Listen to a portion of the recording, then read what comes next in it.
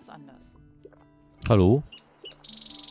In allen Städten und Landstrichen des Reiches ist Hey, ab sofort das aus? Kriegsrecht Solange die ausgerufen. Paladine keine Alle neue Aufgabe Richter für mich haben, kann mit ich mir hier ein ihre. Aufgaben an die königlichen? Paladine Du zu arbeitest für die übertragen. Paladine? Der ehrenwerte Ja, ich Lord mache André Ihnen Meldung über die Situation worden, in der Stadt. jegliches Vergehen Zurzeit oder ist alles Widerstand gegen die Garde des Königs aufs Schwerste zu Wie ist die bestrafen. Situation mit den Orks? Jeder Bewohner Ein von Grund zur Besorgnis. der sich eines Wir Verbrechens von der schuldig macht, Stadtwache und die Paladine haben umgehend alles bei Lord. André zu Geh nach melden. Hause und lass uns unsere Arbeit machen.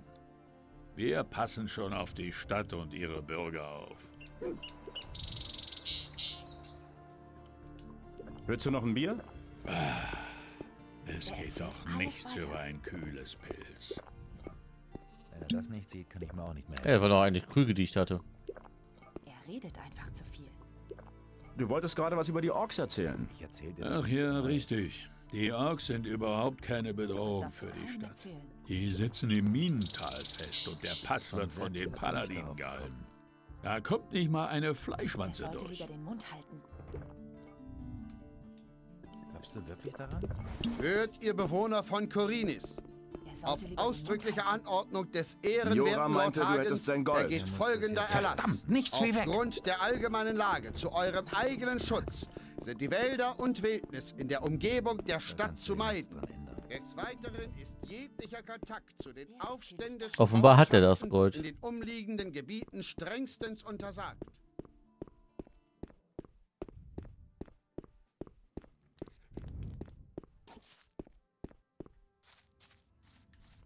Wo ist der hin? Da.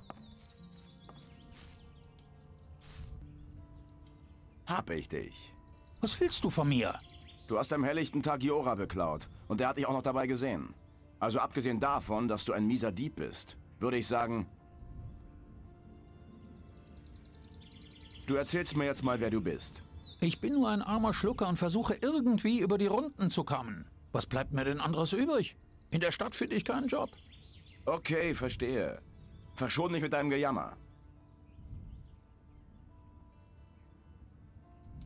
Du gibst mir jetzt Joras Gold. Hier hast du die Kohle, Mann. Aber jetzt lass mich laufen. Ich tue es auch nie wieder. Ich sollte dich der Miliz übergeben. Was willst du denn noch? Ich hab nichts mehr. Lass mich laufen, Mann.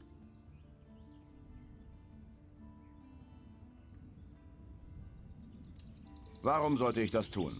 In der Stadt ist es immer gut, die richtigen Leute zu kennen und es sich nicht mit ihnen zu verderben. Ich könnte ein gutes Wort für dich einlegen. Mehr kann und werde ich dir dazu nicht sagen. Der Rest liegt an dir.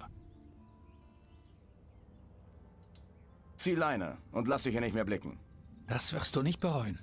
Danke, Mann. Ich meine, dass es auch wirklich äh, hilfreich war. Warte mal. Na, geht's dir gut? Was willst du denn noch? Ich hab nichts mehr geklaut. Ehrlich, Mann. Ich wollte nur hören. Sind doch jetzt Freunde.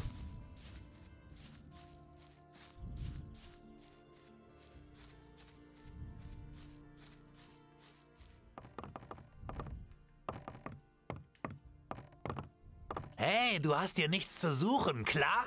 Wer bist du? Das geht dich nichts an. Ich bin hier der Chef, okay? Der Chef? Von was? Von den Kisten? Hey, das Lagerhaus untersteht meiner Aufsicht, klar? Also verpiss dich, sonst schlage ich dir den Schädel ein. Okay.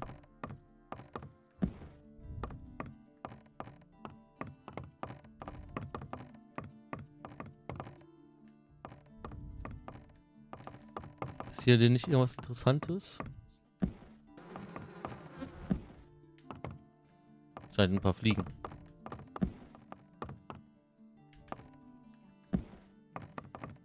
Hier scheint echt gar nichts. Zu sein, wa? Oder da ein bisschen buggy durch die Kisten läuft. Aufgrund der allgemeinen Lage zu eurem eigenen Schutz sind die Wälder und Wildnis in der Umgebung der Stadt zu meiden. Des Weiteren ist jeglicher Kontakt zu den Hm.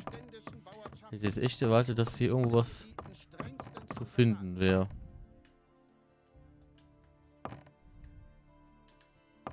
Hey! Schon jetzt. Jetzt habe ich auch echt die Sorge gehabt, der wird da festhängen.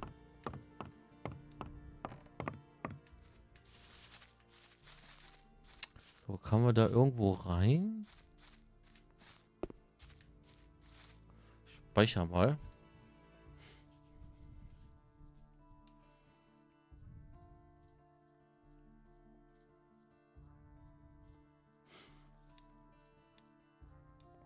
Weiß ich das nicht mehr auf der Kette. Ich meine, da kann man irgendwie rein und da war da was drin, vielleicht sogar der Bogen oder so.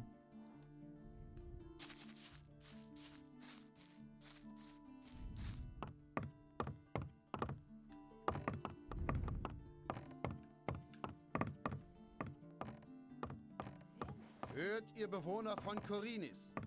Auf ausdrückliche Anordnung des ehrenwerten Lord Hagens ergeht folgender Erlass. Oh, das ist ein Haltrank. Ab sofort wird Lord André den Einfach mal so auf dem Dach. Alle Bürger dieser Stadt, die über kämpferische Fähigkeiten verfügen, werden hiermit angehalten, der königlichen Miliz beizutreten.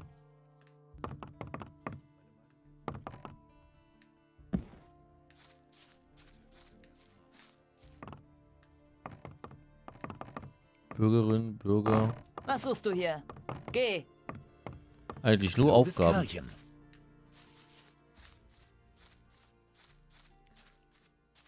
So gesehen suche ich nichts Besonderes. Das. Ist hier irgendwie. Hier ist so dunkel, aber es sieht alles so aus.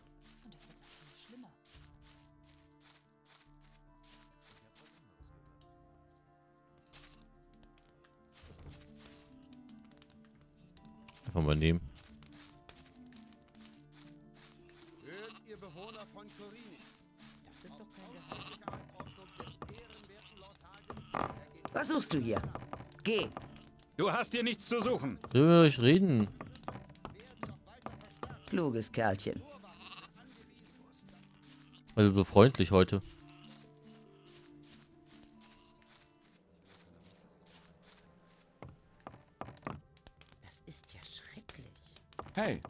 Verdammt, was ist los? wie sieht's aus? Wie viel willst du? Was heißt, wie viel? ich bin der Geldverleiher und du kommst zu mir. Was wirst du schon von mir wollen? Geld natürlich. Leih mir Geld. Klar. Wie viel willst du haben? Ich berechne 20 Prozent. Krass. Er redet einfach zu viel. Ich überleg's mir nochmal. Was denn jetzt? Verschwende nicht meine Zeit. Ich glaube da nicht dran. Okay, sie ist einfach nur Bürgerin. Will doch keiner mehr hören. Das ist ja schrecklich. Was hast du hier zu... Was hast du hier zu suchen? Mann, ich will doch nur reden. Kluges Kerlchen. Ah, komm, gehen wir zu Laris. Es ist, glaube ich, einfach zu spät hier. Ich wäre mir da nicht so Hey, Laris. Ich werd verrückt. Was machst du denn hier? Einige Probleme erledigen sich von selbst. Hey Lars, alter Gauner. Wie bist du hierher gekommen? Ich konnte gerade noch rechtzeitig aus dem Minental fliehen. Zusammen mit Lee und ein paar anderen Jungs. Du kannst dich doch noch an Lee erinnern, oder? Einiges gehört. Natürlich kenne ich Lee noch. Ich bin damals mit ihm aus der Kolonie abgehauen. Kurz nachdem die Barriere zerstört hört. wurde. Er ist jetzt mit seinen Jungs auf dem Hof von Onar, dem Großbauern. Er hat einen Deal mit dem Bauern gemacht. Er und seine Jungs verteidigen den Hof und Onar füttert sich dafür durch. Genau das habe ich auch gesagt. Noch mehr Ärger kann ich nicht gebrauchen. Ich hätte das nicht gemacht. Man darf halt nicht alles glauben, was man hört. Man erzählt sich ja so einiges. Meine Meinung will ja keiner hören. Glaubst du wirklich? Ich wäre mir da nicht so sicher. Glaubst du wirklich? Das hat er wirklich nicht verdient. Ich kann das nicht mehr hören. Ich weiß langsam nicht mehr, was ich glauben soll. Ich kann das nicht mehr hören. Das höre ich zum ersten Mal. Das sind doch alles nur Gerüchte. Ich weiß langsam nicht mehr, was ich glauben soll. Genau das habe ich auch gesagt. Die Probleme habe ich kommen sehen. Das sind doch alles nur Gerüchte. Wir können nur abwarten. Ich kann das nicht mehr hören. Man darf halt nicht alles glauben, was man hört. Der arme Kerl kann einem leid tun. Das hat er wirklich nicht verdient. Man muss eben aufpassen, was man so rumerzählt. Von mir hatte das nicht. Glaubst du wirklich? Ich habe so einiges gehört. Das gibt doch nur noch mehr Ärger. Ja nicht ewig so weitergehen. Das sind doch alles nur Gerüchte. Warum hört eigentlich keiner auf mich? Möglich ist alles. Von mir hatte das nicht. Man muss eben aufpassen, was man so rumerzählt. Das hat er wirklich nicht verdient. Man muss eben aufpassen, was man so rumerzählt. Nicht, das hast du nicht gewusst. Ich kann das nicht mehr hören. Ich habe so einiges gehört. Warum erfahre ich das jetzt erst? Es war genauso, wie du sagst. Das liegt doch auf der Hand. Davon lass ich lieber die Finger. Das gibt doch nur noch mehr Ärger. Wo hast du das denn schon wieder her? Das gibt doch nur noch mehr Ärger. Warum hört eigentlich keiner auf mich? Mich fragt ja keiner. Die Probleme habe ich kommen sehen. Glaubst du wirklich? Ich habe so einiges gehört. Das sind doch alles nur Gerüchte. Noch mehr Ärger kann ich nicht gebrauchen. Einige Probleme erledigen sich von selbst. Das hat er wirklich nicht verdient. Das sind doch alles nur Gerüchte. Das höre ich zum ersten Mal. Der arme Kerl kann einem leid tun. Ich wäre mir da nicht so sicher.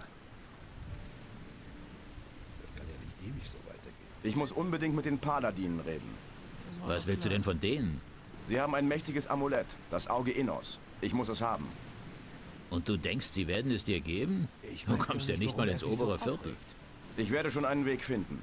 Klar, wenn du dich bei den Bürgern einschmeicheln oder Laufbursche für die Miliz spielen willst. ich lieber die Finger. Es gibt doch nur noch mehr Weißt du, warum die Paladine hier sind? Das weiß keiner so Ich genau. Viele so denken, es wäre wegen der Orks. Aber ich denke, es gibt einen anderen Grund. Hat wahrscheinlich was mit der alten Strafkolonie zu tun. Davon lass ich lieber Ja, die brauchen halt immer noch Erz, ne? Der arme Kerl Erzähl mir mehr über Lee und seine Söldner. Was willst du wissen? Ich wäre mir da nicht so sicher. Wie komme ich zum Hof des Großbauern? Ich hätte das Es ist ganz einfach. Du gehst aus dem Osttor der Hafenstadt und dann immer auf dem Weg in Richtung? Osten. Ich kann dich hinbringen, wenn du willst. Das liegt doch auf der Hand. Es war genau Warum bist du nicht bei Lee und seinen Söldnern? Bin ich doch. Nur eben nicht auf dem Hof.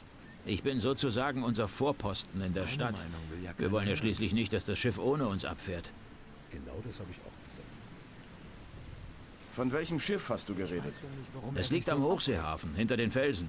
Lee und ein paar von seinen Leuten so. wollen unbedingt hier weg. Aber das kann noch dauern. Ich weiß gar nicht, Warum? so aufregt. Das fragst du am besten Lee, wenn du ihn triffst. Er hat nicht. Pläne. Erzähl mir mehr über die Söldner. Ich Also wenn du noch so ein harter Junge bist wie damals, ich solltest du mit ihnen keine Probleme haben. Die meisten von ihnen sind Raufbolde. Und wer sich nicht durchsetzen kann, kommt auch nicht weit. Ich. Wenn du zart beseitet bist, hast du keine Chance, bei ihnen zu landen. Mir hatte das nicht. Wer erzählt denn sowas? Vatras schickt mich. Er sagt, ich soll zu dir kommen, wenn ich Hilfe brauche. Ach, bei Vatras warst du also auch schon. Du musst ja einen bleibenden Eindruck bei ihm hinterlassen haben. Sonst hätte er sicherlich nicht so bereitwillig meinen Namen genannt. Vor allem nicht, weil die Sache mit den verschwundenen Leuten immer noch nicht geklärt ist. Sag mir, was du brauchst. Ich weiß gar nicht, warum er sich so aufregt. Meine Meinung kennst du ja schon. Wegen der verschwundenen Leute. Wo hast du das denn schon wieder? Erzähl mir, was du weißt. William, einer der Fischer hier in Korinis, war der Erste. Eines Tages kam er einfach nicht mehr nach Hause. sicher. Erst hatten wir vermutet, dass er mit seinem Boot draußen auf dem Meer einem dieser Seeungeheuer zum Opfer gefallen ist. Aber kurze Zeit später verschwanden noch mehr Bewohner der Stadt und Umgebung. Es scheint jedoch keine Methode dahinter zu stecken. Bisher sind alle völlig ratlos. halt So wie es aussieht, müssen wir abwarten, bis wir über einen Hinweis stolpern. ja. Das kann dauern. Da können auch viele Leute verschwinden bis dahin. Ist die Sache nicht eine Angelegenheit der Miliz? Die Miliz hat auch nichts drauf, wenn du mich fragst. Die kommen nie dahinter. Die verschwundenen Leute sind wie vom Erdboden verschluckt.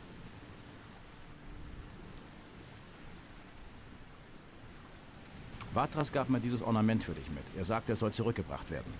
Ah, natürlich, es bleibt mal wieder an mir hängen. Hätte ich mir ja denken können. Ich muss damit über die halbe Insel rennen, um es den Wassermagiern zu bringen. Ich werde das Ornament für dich hinbringen.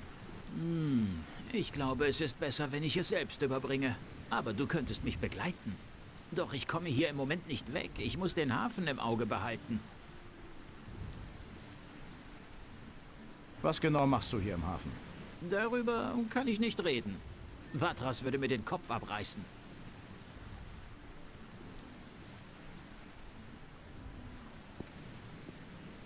Vatras sagte, du könntest mir helfen, mich einer Gemeinschaft anzuschließen.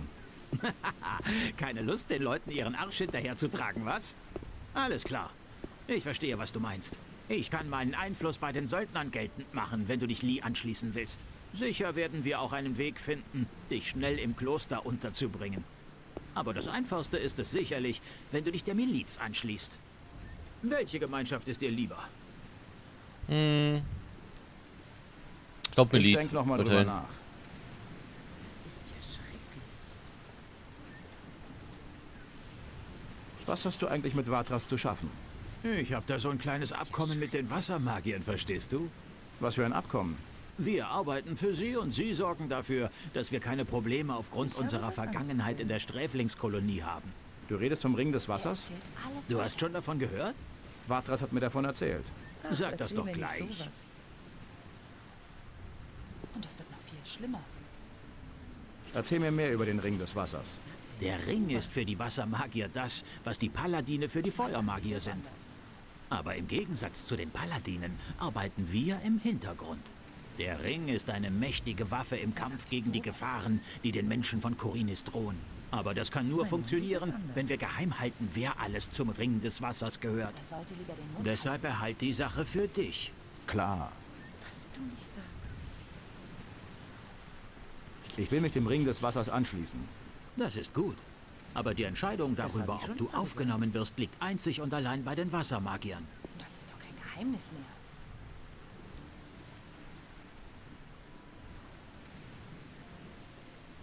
Das ist ja schrecklich.